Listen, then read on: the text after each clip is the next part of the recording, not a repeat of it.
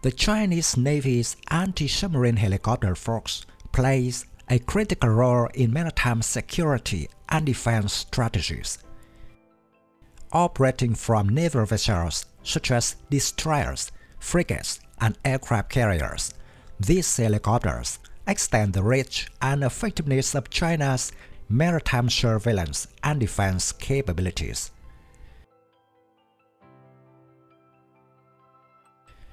Driven by the need to counter emerging maritime threats and maintain maritime security, China has invested considerable resources in developing advanced anti-submarine helicopters tailored to its unique operational requirements.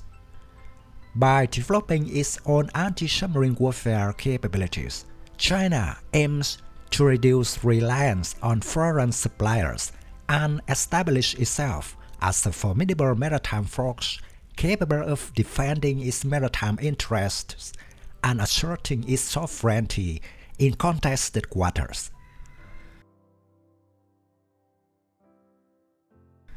The Z-18F helicopter is the most typical, has been developed from the Changhe Aircraft Industry Group Z8, itself a derivative of the long-serving French SA-321 Super Frelon.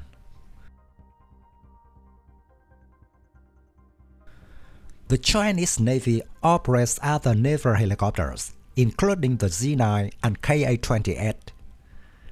The Z-9 is small in size, unable to carry both submarine search equipment and anti-submarine weapons, and has a very limited radius of activity. The larger Ka-28 is limited by the landing gear layout, and it is difficult to mount anti-submarine weapons and the performance of the airborne detection equipment is relatively backward, and the combat capability in the face of increasingly quiet imaginary enemy submarines is also limited.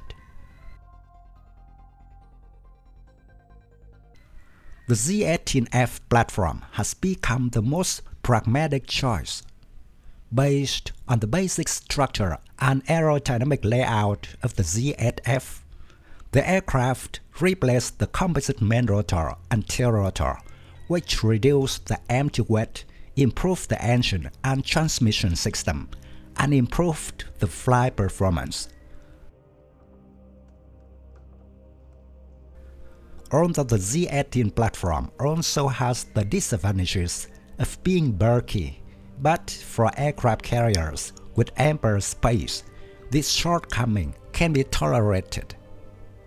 Its huge size and load capacity bring ample equipment layout space.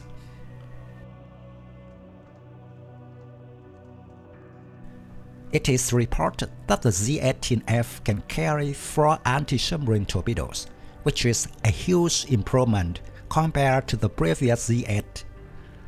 There are two cantilever external pylons on the left and right sides of the middle of the fuselage while most Western anti-submarine helicopters have only two external pylons.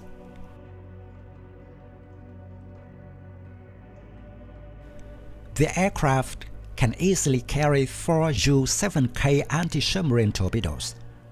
It has a range of 14 kilometers at a speed of 40 knots and a large weight of 235 kilograms. In addition, it can carry four Eagle Strike-9 air-to-ship missiles.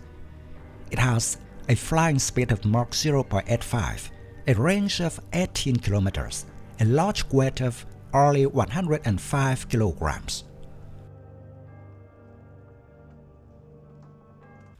The Z-18F has a search radar installed under the nose. According to public data from the air show, the detection range of the ZLC-1 radar can reach 150 kilometers. The detection range of stealth medium-sized surface ships and missile boats is about 100 kilometers, and the detection range of the sea-skimming anti-ship missiles, submarine snorkels, and periscopes is about 50 kilometers. The Z-18F anti-submarine warfare variant is equipped with a dipping sonar and reports suggest that it can carry up to 32 sonobuoys and 4 lightweight torpedoes, such as the Yu-7.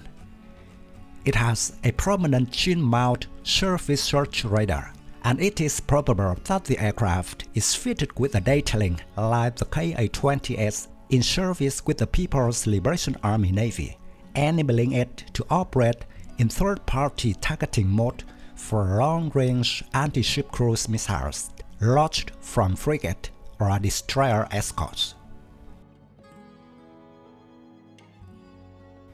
In summary, the Chinese Navy's domestic anti-submarine helicopter development program represents a crucial aspect of China's broader naval modernization efforts. It symbolizes China's quest for technological advancement, military self-sufficiency, and strategy autonomy in safeguarding its maritime domain and asserting its presence on the world stage.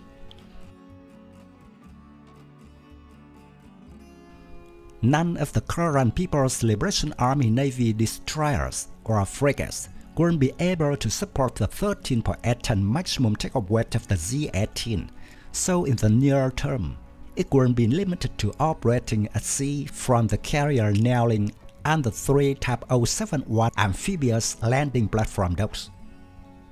The anticipated construction of the Type 081 landing platform helicopter ships and the Type 055 destroyers could increase the number of platforms that are capable of embarking the aircraft.